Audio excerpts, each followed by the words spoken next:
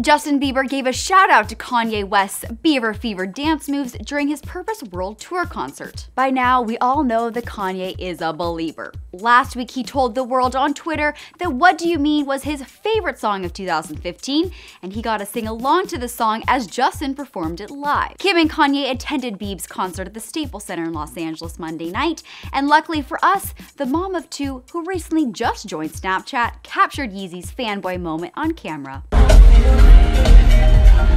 All that I Kim, decked out in her Pablo gear, also serenaded her husband as Bieber performed As Long As You Love Me. Even Justin knows that Kanye loves Justin almost as much as Kanye loves Kanye and expressed his gratitude at the end of his concert on Twitter. Shout out to one of my inspirations, Kanye West, for coming to the show tonight. Had to go big. Hashtag Purpose Tour Los Angeles Night 2. And to prove that Kanye really does have a serious case of Bieber fever, here are a few other times that he has been caught dancing excitingly to What Do You Mean? Justin posted this one a few months ago on his Instagram.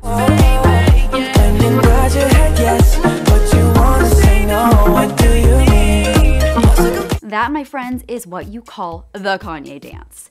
Kim also caught him jamming out in his car last week.